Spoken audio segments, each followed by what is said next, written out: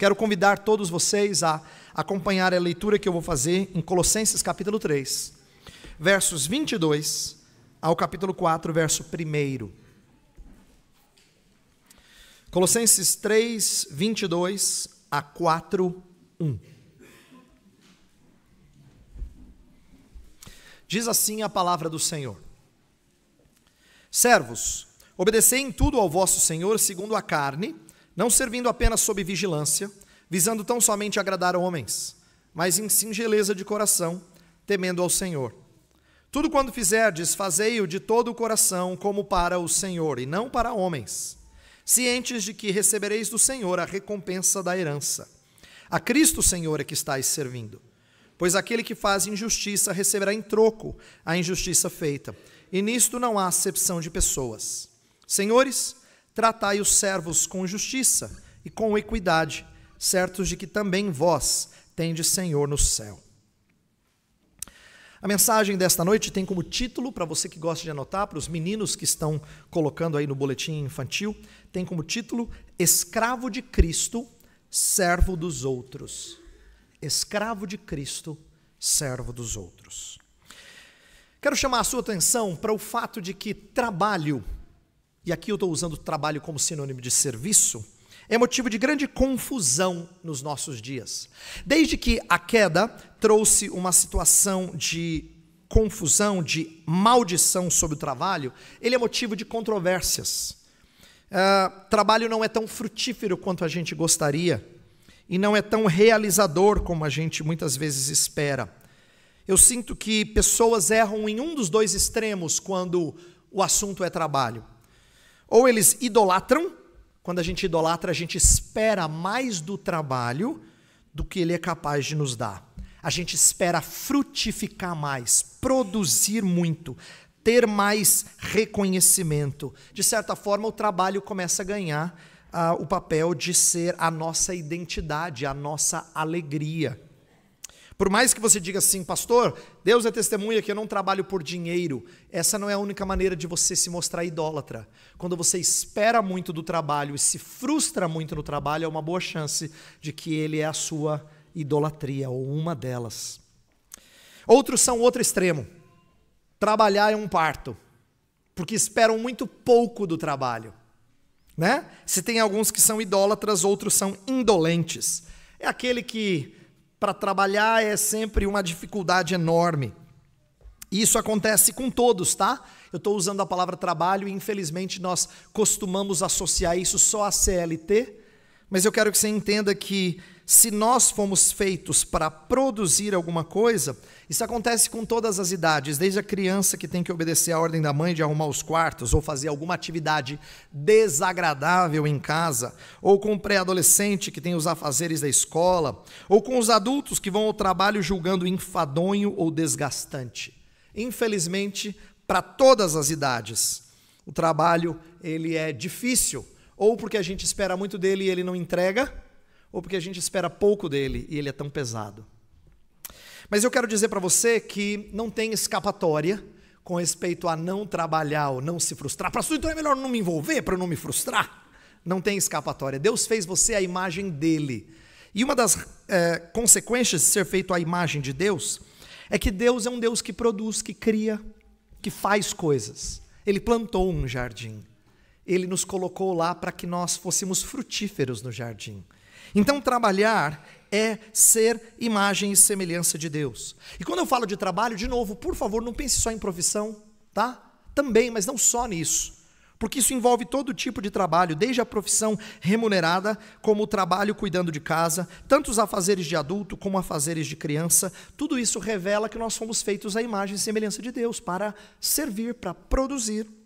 Então, toda ociosidade ou todo anseio por um dia deixar de produzir, é o que alguns de vocês sonham com aposentadoria, ele na verdade não combina com os planos de Deus para a sua vida.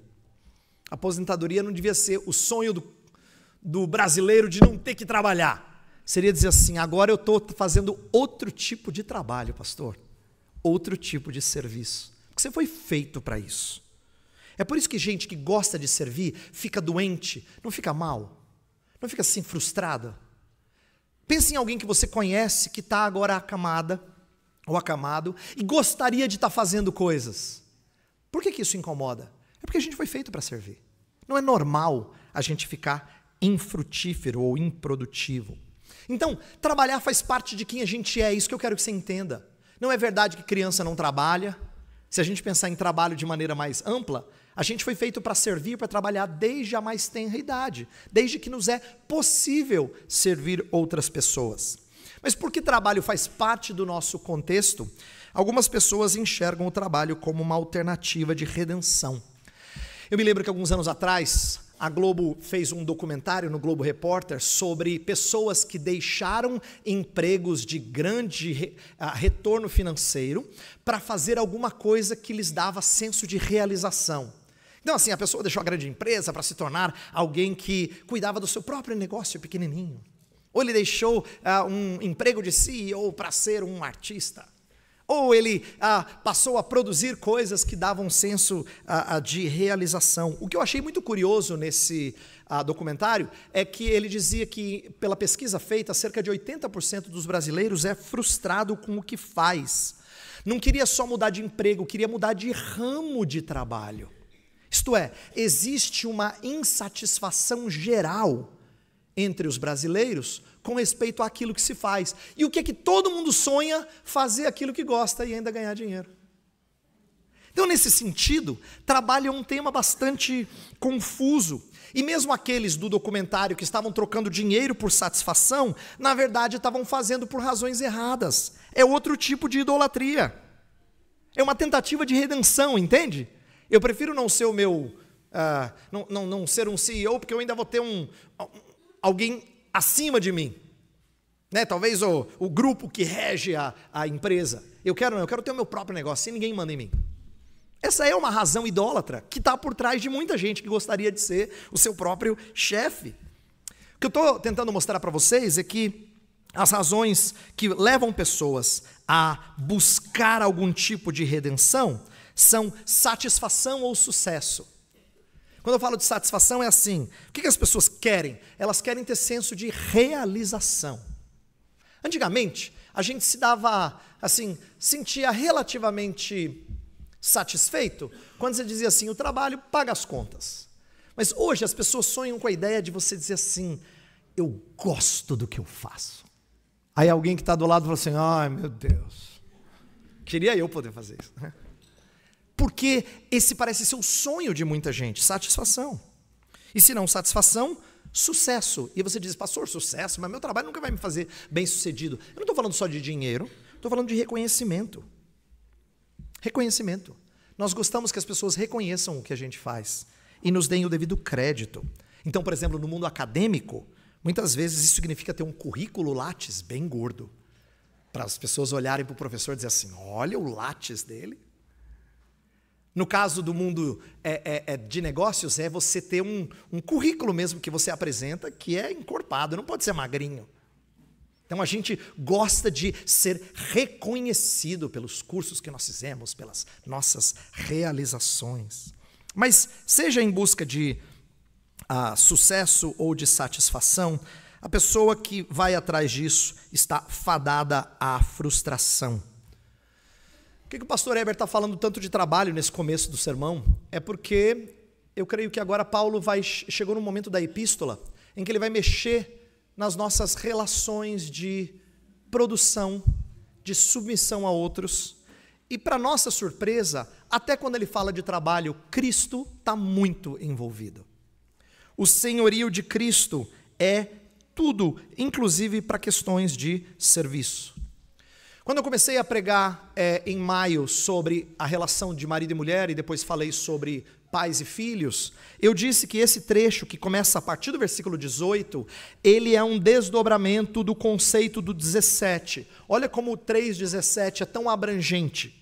Diz assim: E tudo o que fizerdes, tudo, seja em palavra, seja em ação, fazei-o em nome do Senhor Jesus. E aí ele vai falar sobre relacionamento de marido e mulher, depois de relacionamento de pais e filhos, e agora de servos e senhores. Então a ideia de fazer tudo em nome de Jesus significa que a honra de Jesus e o propósito que Jesus traz influencia tudo, inclusive as nossas relações fora daquilo que a gente chama de núcleo familiar. Olha que curioso, olha quantas vezes a palavra Senhor, olha o verso 18. Esposa, sede submissa ao próprio marido como convém no Senhor, verso 20. Filhos, em tudo obedecei a vossos pais, pois fazê-lo é grato diante do Senhor, verso 22. Servos, obedecei em tudo ao vosso Senhor segundo a carne, não servindo apenas sob vigilância, visando tão somente agradar homens, mas em singeleza de coração, temendo ao Senhor. E depois continua, 23, como para o Senhor, 24, cientes de que recebereis do Senhor a herança. A Cristo o Senhor está servindo. Deu para entender, né? Quantas vezes a palavra Senhor, sempre em referência a Jesus. O que, que isso ensina para gente? Que o senhorio de Cristo está totalmente ligado, inclusive, a uma passagem que parece sobre escravidão. Mas deixa eu já fazer a seguinte notinha. Esse é um texto que sim trata é, de ah, escravos e senhores de escravos. Mas eu creio que seja justificado a gente aplicar a trabalho nos nossos dias. Por quê? Porque a ideia é que a gente entenda o que significa estar em posição subordinada e em posição de uh, controle ou de uh, governo sobre alguém. Eu quero que a gente tire princípios para o nosso dia a dia, não só para o trabalho na empresa, mas inclusive para o nosso serviço em relação a outras pessoas, seja em casa, seja na família mais estendida. Mas eu sei que o texto trata de escravidão. E é claro que a gente tem vontade de perguntar coisas sobre escravidão. Por exemplo, Escravidão é essencialmente má, pastor? Como é que a gente pode falar de trabalho escravo? Qual é o tipo de submissão que Paulo pediu dos escravos nesse texto? Como é que é possível ser dono de escravo e não ser um tirano? Eu acho que são perguntas legítimas. E eu quero, antes de mergulhar no texto, fazer algumas considerações sobre o que era escravidão nos dias do Novo Testamento, para você entender o contexto dessa passagem. Porque a imagem de escravidão que a gente possui é uma imagem de quem estudou história americana ou história brasileira. Tem a ver com o aspecto racial, e no contexto dos Estados Unidos da América, então, é muito forte as implicações raciais que foram advindas dessa escravidão. E o Brasil também herdou um pouco disso. Mas a questão é que no, no primeiro século não tem nada a ver com raça, não tem nada a ver com povos sobre outros povos. Escravidão tinha muito mais a ver com o aspecto financeiro. A gente sabe que tinham muitos escravos no dia, eh, nos tempos do primeiro século no Império Romano. A gente não tem estatística precisa, só tem estimativas, mas certamente a população de escravos era grande. Mas por que, que eles tinham se tornado escravos? Eles tinham se tornado escravos porque alguém devia alguma coisa e tinha que trabalhar, porque ele não tinha de onde tirar dinheiro emprestado, não tinha banco para fazer empréstimo. Né? Não tinha de onde tirar recursos, muitas vezes, para você saldar essas dívidas. Então, escravos, eles trabalhavam para adquirir a sua é, é, liberdade, quando era uma questão é, financeira. Às vezes não, às vezes era um prisioneiro de guerra. E aí ele acabava se tornando escravo porque ele foi vencido. Às vezes é porque ele nasceu filho de escravo. Então o pai dele era escravo, não conseguiu se libertar, e esse que nasceu como filho ah, do escravo acabava nascendo escravo também. Mas em qualquer uma dessas situações a questão não era racial. Tanto é que escravos, alguns deles, tinham perspectiva de ganho e liberdade. Eles podiam trabalhar para se verem livres. Alguns deles tinham um trabalho especializado. Olha que engraçado, né? A gente está acostumado a pensar em escravo fazendo trabalho pesado. Mas no primeiro século tinham escravos que eram artesãos, tinham escravos que eram mestres, professor, tinham escravos que eram médicos, que cuidavam da saúde de outros. Por que isso? Porque eles estavam debaixo do controle de alguém que havia comprado os seus serviços. Mas eles eram, muitos deles eram escravos domésticos e o escravo doméstico costumava ter melhor tratamento do que alguns escravos que faziam um trabalho mais difícil. Agora, com tudo isso que a gente está levantando, ainda assim, você diz assim, pastor, mas estranho, né? Você pensar que gente era dona de outra pessoa. E sabe o que mais pode incomodar você? E talvez incomode mesmo, se você já refletiu sobre isso. É que o Novo Testamento não se pronuncia a respeito. Não tem nenhum verso do Novo Testamento que diga assim: libertai os escravos. Pelo contrário, tem até carta de Paulo escrevendo para Filemon, um senhor de escravos, para receber a Filemon como irmão, mas em nenhum momento fala para ele ser liberto da sua relação escravo-senhor. Essa é uma coisa que incomoda quem nasceu no século 20 ou 21. A gente foi muito treinado a olhar para isso como sendo ah, pecaminoso em si. Por que, que o Novo Testamento não trata disso? Por que, que o Novo Testamento não tem ah, versos de Paulo falando que tudo quanto era escravidão tinha que acabar? Não tem isso. Bem, tem pessoas que têm diferentes opiniões a respeito. Tem gente que acha que a escravidão não é má em si mesma. Tem gente que acha que o, o, o Novo Testamento tem os princípios todos lá que posteriormente levariam à abolição da escravatura. Mas eu aprendi algo há um tempo atrás que eu acho importante compartilhar com vocês, que é a maneira como o Novo Testamento ele propõe algo mais profundo do que simplesmente uma reforma social. Isto é, quando ele trata de escravidão, ele não propõe quebrar as estruturas, romper com as amarras sociais. Ele parece falar de algo que é mais profundo e que eu acho que tem aplicabilidade, inclusive, para os nossos dias. Sabe por quê? Quando a gente olha para um contexto como o de escravidão do primeiro século, e a gente olha para trabalho escravo em nossos dias, olha mesmo para é, é, empresas que podem dizer que fazem as coisas dentro da lei, mas exigem muito dos seus funcionários. O que a gente mais quer é libertação disso, não é? Mas o Evangelho nessa passagem vai nos ensinar uma coisa que é muito mais impactante do que simplesmente romper com as estruturas. Eu creio que a nossa passagem fala de um Evangelho que nos transforma dentro das estruturas. Isto é, mesmo que a estrutura social continue, é possível mudar a nossa postura dentro dessa estrutura e, de alguma forma, a estrutura ser influenciada por nossas posturas. Então, o Evangelho não traz alguma coisa sobre romper totalmente com a escravidão. E eu creio que tem uma lição aqui para a gente. Olha que curioso. O que, que acontecia com um escravo? Ele frequentemente trabalhava é, em alguns casos eu disse que ele era liberto, mas em outros casos ele permanecia escravo porque ele não tinha condições de livrar-se da sua dívida, ou às vezes ele era um prisioneiro de guerra, e ele era vendido possivelmente para outro, outra família, mas ele continuava escravo. Você diz que triste, pastor. Mas olha o princípio interessante que a Escritura nos ensina. A gente nunca fica sem Senhor. Na Bíblia é assim. Antes você era servo de Satanás. Mas quando você é salvo, você não vira autônomo, você vira servo de Jesus.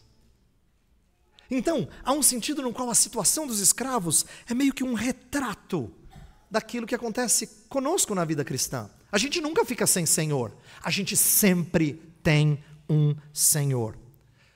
Então, eu creio que a implicação social disso é que a gente se torna servo, servos uns dos outros, para não dizer escravos, em Cristo Jesus. Então, quando a nossa passagem fala de servos, existe algo aqui marcante com o qual a gente vai lidar. E é aqui que o evangelho vai além do que simplesmente uma proposta de abolição da escravatura. E veja, eu não estou sendo contrário ao que o movimento representou. Eu só estou mostrando que o evangelho vai além.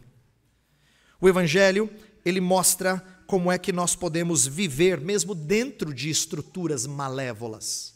Sabe por que isso é importante? É porque às vezes a gente olha para as estruturas de nosso país e de outros países e diz: meu Deus, como é que eu consigo viver dentro disso? O Evangelho ensina a gente a viver dentro de estruturas estragadas, de estruturas em que existe mal. A Escritura não ensina para a gente um espírito de redenção por quebra das estruturas sociais. Ela ensina a gente a ser remido, às vezes, dentro de estruturas más. Eu quero que você aprenda isso.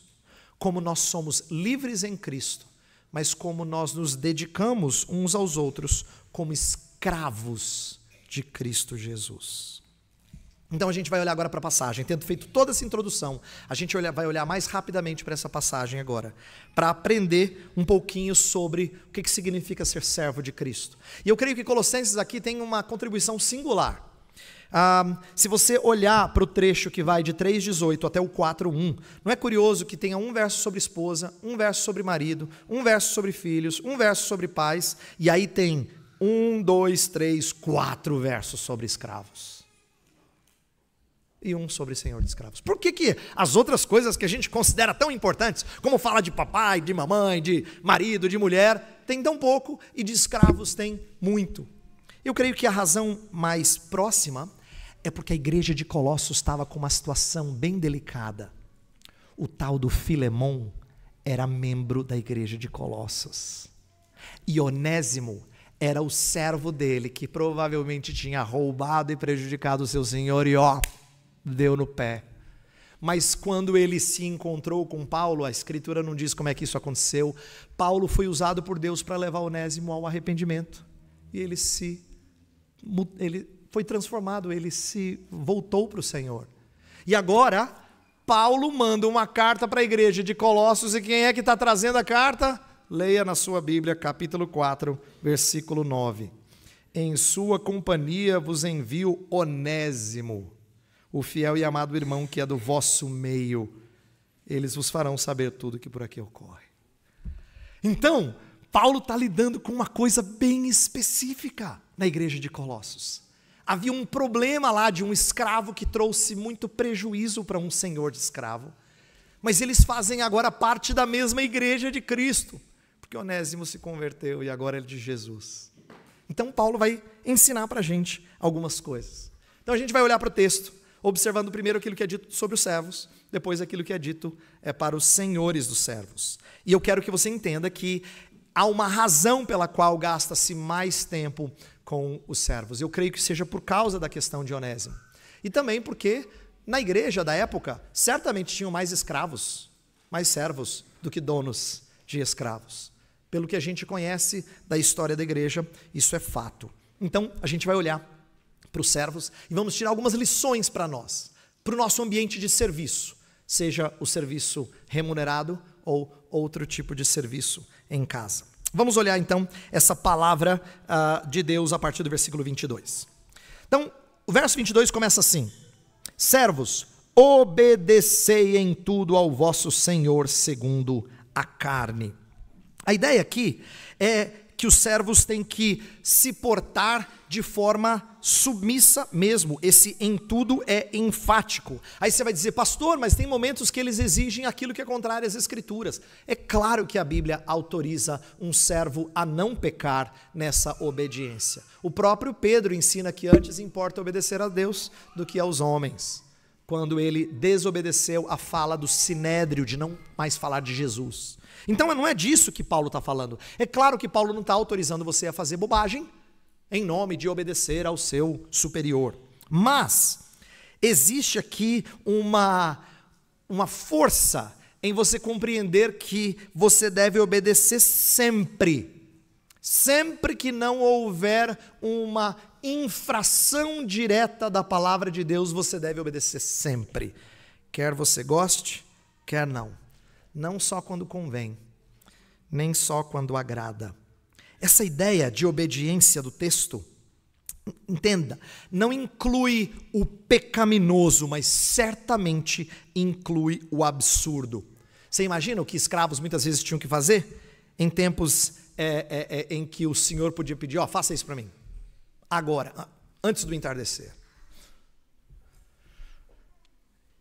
E eu acho que essa é uma lição preciosa para nós, numa época em que a gente é ensinado a buscar os seus direitos, quanto o trabalhador não é estimulado por uh, os órgãos diversos que tem por aí a buscar os seus direitos, a colocar o seu patrão na justiça, a conseguir aquilo que é direito dele.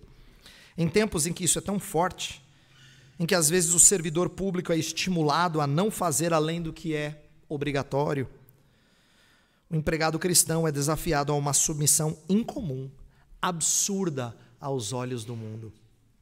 O que o Senhor pede aqui dos escravos é algo absurdo.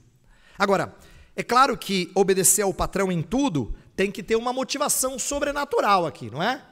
E o texto fala, não servindo apenas sob vigilância. Olha que interessante. Não servindo apenas quando alguém está olhando, quando o chefe está olhando, visando tão somente agradar homens. A ideia aqui é que se você serve debaixo de temor de homens, antes do que temendo ao Senhor, você inverteu a grande motivação. A motivação não é tem gente olhando. Paulo vai propor alguma coisa que vai além do que os pagãos, do que os descrentes conseguem fazer. Ele diz: tem outro alguém olhando. Inclusive, a continuidade do texto fala assim, versículo 24, finalzinho: A Cristo o Senhor é que estais servindo. Em outras palavras, enquanto pessoas descrentes são movidos à obediência, porque eles se preocupam com a maneira como eles serão vistos pelos outros, cristãos devem ser movidos à obediência, porque se preocupam como o Senhor será visto pelos outros. Eu explico. A gente carrega o nome de Cristo em tudo que a gente faz, em todo serviço, remunerado ou não. Portanto, o que, que move a gente a ser submisso aos nossos superiores. É porque o nome de Cristo está em jogo. A mudança é radical. Porque não é porque os outros estão olhando para mim, é porque os outros estão olhando para Cristo em mim. Por isso que o texto fala de temor. E temor é uma palavrinha tão importante. Temor é uma palavra que se repete várias vezes em textos diferentes que falam sobre o relacionamento no lar. Tem que pensar que nesses dias aqui, no lar não era só o núcleo pequeno de pai, mãe, filhos, mas muitas vezes tinham outros familiares, tinham inclusive eh, os escravos domésticos. Então, lar aqui era maior. E nos chamados códigos domésticos, em que Paulo dá orientações, Pedro dá orientações sobre como deve se portar em casa, é curioso que a palavra temor se repita várias vezes. Por quê? Existe um respeito, temor para com os superiores segundo a carne, mas ele é diferente do temor para com o Senhor. E é curioso que no grego, no português isso não aparece, mas no grego a palavra temor é a mesma é de onde a gente tira a palavra fobia em português. É a palavra grega de onde a gente tira a ideia de fobia, de temores, de medos. Então, olha que curioso, quando fala da relação de alguém para com o seu superior terreno, não fala só respeito, que a gente entende respeito. No grego é temor. Mas como assim? Como é que eu temo essas pessoas e temo a Deus? É porque a Bíblia ensina a gente a ordenar os nossos temores. Assim como você ama a sua esposa, mas não pode amar acima do amor pelo Senhor.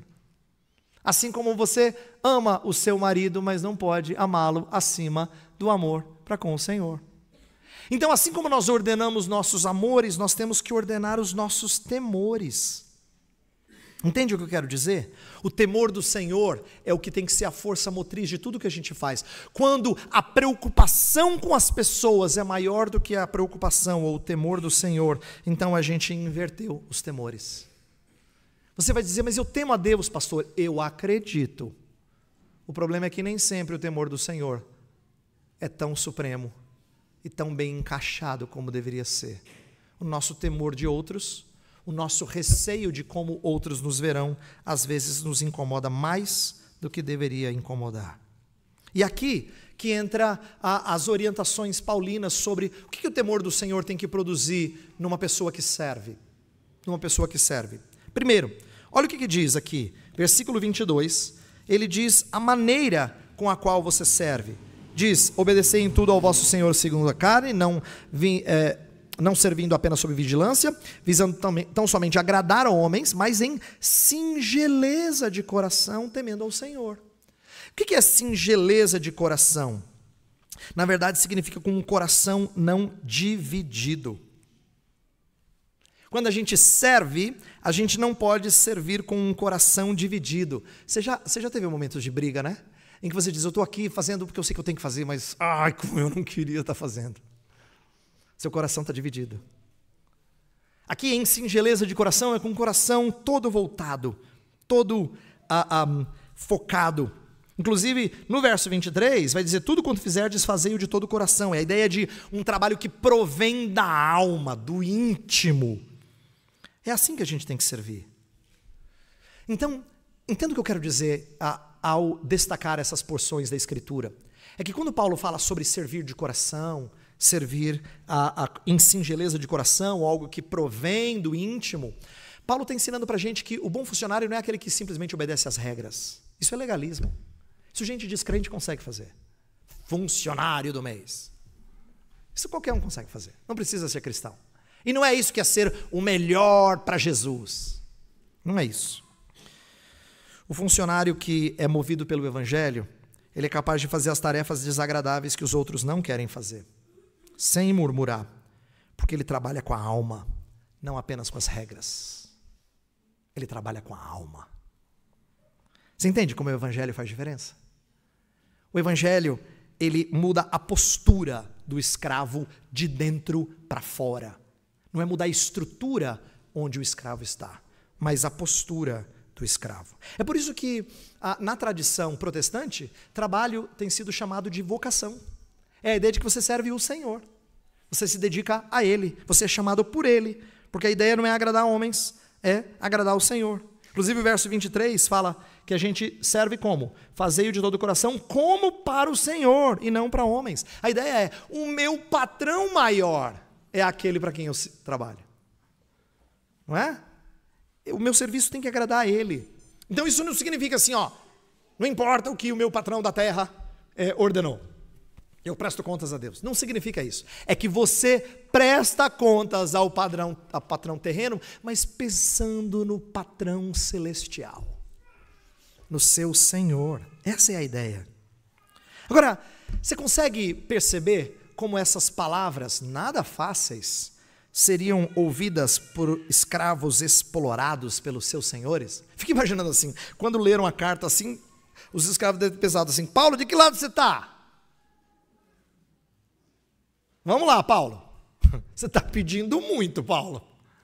De que lado você está? Mas eu creio que Paulo tinha uma preocupação acerca do evangelho na vida do servo que daria testemunho do nome de Cristo. Lá em 1 Timóteo 6:1, Paulo escreveu assim, ó: Todos os servos que estão debaixo de julgo, considerem dignos de toda honra o próprio Senhor. Senhor aqui falando do Senhor terreno. Porque para que o nome de Deus e a doutrina não sejam blasfemados. Olha a preocupação de Paulo. A relação que eu tenho com meu superior terreno é porque a doutrina está em jogo, o nome de Deus está em jogo. Ele não está falando de igreja, ele está falando da nossa relação com serviço. Então, eu quero que você compreenda que falar de servirmos a Deus não é só algo para engolir seco. Nossa, eu vou ter que servir agora aquele patrão porque eu estou fazendo para Deus. Não, na verdade é um encorajamento. É um encorajamento para você que faz tempo que pensa que o seu trabalho é inútil. Quantas vezes o auxiliar de escritório não acha que o seu trabalho é inútil para a sociedade? Ou a atendente que acha que nunca produz alguma coisa, só atende telefone, marca coisa. Ou a faxineira que se desanima porque faz o mesmo serviço todos os dias. A dona de casa que repete, repete, repete tarefas. Não poucas vezes na nossa vida a gente tem a impressão que o nosso trabalho é inútil. Mas quando Paulo muda a nossa ótica, ele ensina a gente a encontrar propósito no nosso trabalho. É porque ela testifica de quem é o Senhor. A nossa postura testifica de quem é o Senhor. Para quem você trabalha? Quem é o seu patrão? Eu acho que essa postura de Paulo também ensina a gente a ter equilíbrio. Equilíbrio. Veja por quê. Todos vocês, como eu, que são adultos aqui, provavelmente têm várias funções a fazer. E não poucas vezes a gente se sente sufocado, não é? A gente fala assim, tem que equilibrar um monte de coisa, pastor. Estou agora igual malabarista, assim, jogando para cima algumas coisas para dar conta de outras. E o que é equilíbrio na vida cristã? Eu não acho que seja malabarismo. Equilíbrio é a harmonia de seguir o único chamado de fazer tudo em nome de Cristo. O verso 17 que eu li antes fala: Fazei tudo em nome do Senhor Jesus. Mas o que é isso? É que em qualquer relação na qual eu estou, eu tenho que ter a preocupação em ser fiel, não em ter resultados. Fidelidade é mais importante do que resultados. Eu quero dar um exemplo. Às vezes, a gente se afoga no trabalho, achando que a gente está cumprindo as ordenanças né, de Deus, e a gente não tem muito tempo para o marido, para a esposa, para os filhos, para os pais, seja lá o que for a sua relação. E aí você se dedica a um relacionamento em detrimento dos outros dois e diz assim: é difícil, pastor, estou tentando aqui fazer equilibrar. Mas eu acho que o nosso problema é a expectativa em que a gente tem em relação aos três relacionamentos. A gente cria a expectativa de que temos um determinado número de jantares românticos com a esposa, de passeios com os filhos, e ainda assim agradar o nosso patrão com o nosso desempenho profissional. É o que a gente deve fazer. Super-homem. Consegue fazer todas as coisas muito bem. Eu acho que as expectativas estão erradas. A gente frequentemente se frustra porque a gente coloca expectativas erradas a gente pensa mais em agradar os outros, seja o cônjuge, seja os filhos, seja o patrão, do que agradar o Senhor. No fundo, no fundo, a gente se aflige porque a gente tem temor de pessoas maior do que deveria ter. O temor do Senhor se enfraqueceu. E é por isso que a gente acha que não vai dar conta. Irmãos, eu queria que você não se frustrasse se o seu serviço, seja em casa, seja no trabalho, seja para um parente, se ele não é reconhecido por homens. Lembra que você tem outro patrão, outro superior, que te promete herança. O verso 24 fala assim: cientes de que recebereis do Senhor a recompensa da herança. Eu quero que você entenda a beleza desse texto. Ele está escrevendo para escravos. Escravo nenhum tinha direito à herança. Escravo nenhum ia receber uma porçãozinha da terra do seu senhor quando ele morresse. Mas Paulo diz assim: até vocês, escravos, têm herança. Porque o Senhor de vocês é outro. Como é bonito a gente aprender isso. Eu quero então que você entenda que esse serviço é difícil, mas ele é um uh, encorajamento. E para não terminar apenas com um encorajamento, eu quero que você entenda que também tem um alerta. No versículo 25 fala assim: Pois aquele que faz injustiça receberá em troco a injustiça feita, e nisso não há acepção de pessoas. Olha que curioso. Mesmo que escravos fizessem alguma coisa indevida, a justiça não ia lhes ajudar porque eles eram oprimidos. É uma visão bem diferente da sociedade atual, em que a luta pelo oprimido envolve muitas vezes sufocar o opressor da sociedade. É por isso que juízes adoram dar ganho de causa para funcionários e não para empresas. Porque é uma maneira de tentar inverter a opressão social. Paulo diz assim: Deus não é assim. Deus é justo. Ele não recompensa nenhum malfeitor, seja ele escravo, seja ele senhor.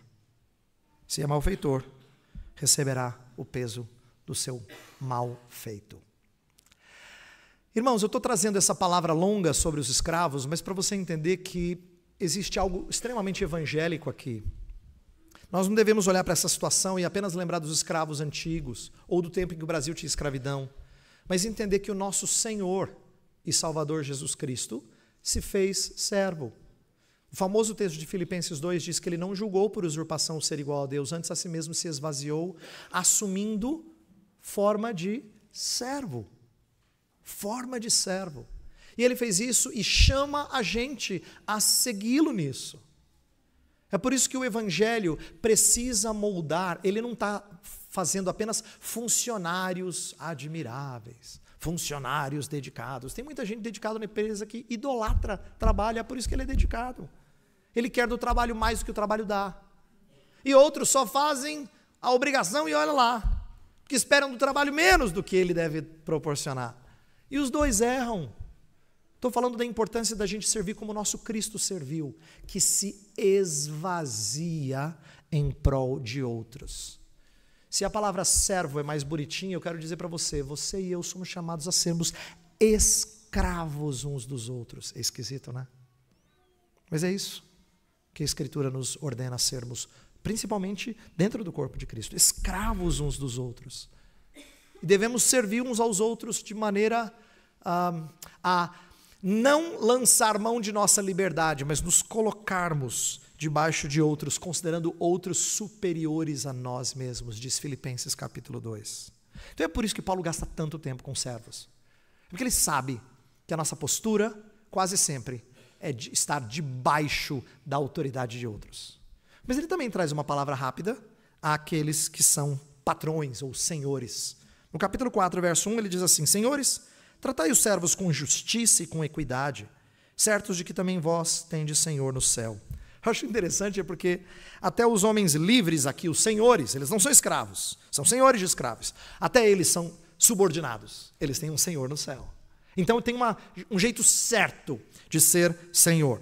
Eles também são escravos de Cristo. E por isso que eles devem servir os seus subordinados. Como? Com equidade, com justiça. É interessante isso, porque estar em posição elevada muitas vezes faz alguns esquecerem que também são servos. Mas no Novo Testamento a gente tem as duas situações. A gente tem aquela situação bonita do centurião romano, que ele fala assim: Ah, tem um servo meu que está doente, Jesus. Eu queria muito que o senhor ajudasse. Aí Jesus falou: Eu vou lá. Não, não. Eu, eu, eu sei servir. Basta uma palavra sua. Jesus fica admirado com aquele centurião romano, porque ele entende o que, que é. Mesmo sendo centurião, ele era chefe da guarda romana. Ele se coloca debaixo do Mestre Jesus. Mas, já na parábola do credor incompassivo, ele não tem essa noção. Lembra que ele é muito é perdoado para depois sufocar o seu subordinado? Quero que você entenda que Jesus está ensinando a gente que todas as vezes nas quais a gente está em posição de autoridade, seja no trabalho, seja em casa, você contraste o abuso de autoridade com uma autoridade sacrificial. Jesus Cristo diz assim: nesse mundo os homens querem poder, mas aquele que quer ser grande no reino, ele serve. Ele é servo. Até quem é senhor é servo. Então, quando a gente fala de justiça e equidade, são coisas importantes para o contexto de trabalho. E eu poderia me delongar aqui falando sobre ah, como é que um senhor poderia proporcionar melhor ambiente de trabalho, mas eu vou pular para a conclusão. Eu quero que você entenda que nosso Jesus deu um exemplo belíssimo do que é ser um senhor servo, quando ele lavou os pés dos discípulos. Foi lavando um a um, chegou no Pedrão, Pedrão não quis, aí Jesus explicou: Tá bom, Senhor. E depois ele disse assim: Porque eu vos dei o exemplo, para que, como eu fiz, façais vós também. Sabe o que Jesus disse logo antes desse texto? Ele disse assim: Eu, sendo o Senhor e o Mestre, vos lavei os pés, também vós deveis lavar os pés uns dos outros. Ele é Senhor e Mestre, ele diz que é, ele diz: É verdade, vocês me chamam, e é verdade mesmo. E eu lavei os pés de vocês, então vocês também devem lavar os pés. Mas ele é meu escravo, sim, mas eu também não sou seu senhor. Eu não te servi com a minha própria vida. Cristo ensina para gente que, no contexto do Evangelho, quem é grande lá fora se torna pequeno aqui dentro. E quem é pequeno lá fora se torna servido aqui dentro. Esse é o lugar em que as coisas mais estranhas deviam acontecer lugar em que escravos se tornam grandes. Tem algumas histórias bonitas na história da igreja, sabe? Tem histórias de escravos que se tornaram bispos e os seus senhores iam ser ovelhas dos seus escravos, pastoreados pelos seus escravos. Só no cristianismo acontecia isso. É só aqui que gente com pouca instrução pode ser importante, pode exercer liderança, pode servir em cargos significativos. Porque aqui o Evangelho muda a cabeça das pessoas. Eu quero que mude a sua, tá? Você é muito influenciado pelo mercado de trabalho, pelo jeito mundano de pensar. Você não pode servir onde você serve do mesmo jeito que os seus colegas. Sua cabeça tem que estar girando noutra rotação. Você tem que pensar com outros paradigmas, porque você tem outro patrão, Cristo Jesus. quero orar pedir que Deus molde os seus relacionamentos, não só no seu lar, mas inclusive na sociedade, onde você serve. para que você tenha Cristo como seu Senhor. Feche os seus olhos, vamos falar com Deus. Senhor, nós nos dirigimos a Ti, certos de que somos todos subordinados a Ti, mas o Senhor é tão bom, tão bom, que mesmo sendo o nosso Criador, o Senhor nos serve ao enviar o Teu Filho por nós. Então é incrível, é impressionante. E só pelo Teu Espírito que nós cremos que o Senhor, sendo Deus, sendo Criador de tudo e de todos, se coloca como nosso servo. E o Teu Filho não só nos serve, mas padeceu as piores dores para nos servir. Senhor, nossa mente, nosso coração precisam ser enchidos desse Evangelho. E precisam moldar a maneira como nós estamos no ambiente de trabalho, seja na empresa, seja no nosso próprio negócio, seja em casa, seja o serviço de pequenos ou de adultos. Nós precisamos ser moldados pelo Evangelho quando a gente serve pessoas. Ajuda-nos, Deus faz-nos contestar a maneira como outros pensam lá fora. Ensina-nos a sempre questionar para ver se está em consonância com a tua bendita palavra, com o evangelho transformador. Ajuda-nos a servir debaixo do senhorio de Cristo. É o que nós pedimos no nome dele. Amém.